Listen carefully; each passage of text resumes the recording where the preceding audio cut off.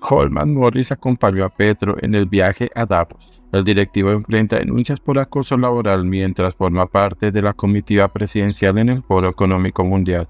Holman Morris, subgerente de RTBC, ha viajado junto al presidente Gustavo Petro a Davos, Suiza, para participar en el Foro Económico Mundial. Este hecho ha generado interrogantes sobre el rol que desempeñará Morris en este viaje y su pertinencia dentro de sus funciones habituales. Sin embargo, la presencia de Morris en la comitiva presidencial se ve empañada por las recientes denuncias de acoso laboral en su contra. Silvana Orlandelli, directora de Señal Colombia, lo ha acusado de vulnerar sus derechos laborales, generando un escándalo que ha llevado a otros testimonios similares por parte de mujeres del medio. En medio de este contexto, Morris estaba citado por el ministro de las TIC, Mauricio Liscano, para abordar el tema.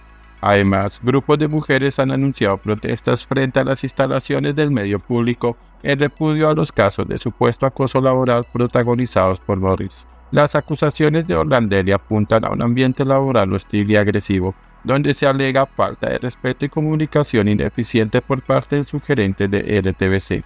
Otras mujeres como Lina Moreno, directora de Canal Institucional, y la periodista Vanessa de la Torre de Caracol Radio han compartido experiencias similares. Las críticas hacia Morris no solo provienen de las afectadas, sino también de distintos sectores del feminismo en Colombia, incluyendo la socióloga Sara Tufano, quien ha cuestionado la necesidad de rodearse de personas con comportamientos cuestionables. A pesar de las denuncias y la atención pública, Morris ha defendido su posición alegando que se trata de ataques orquestados en su contra.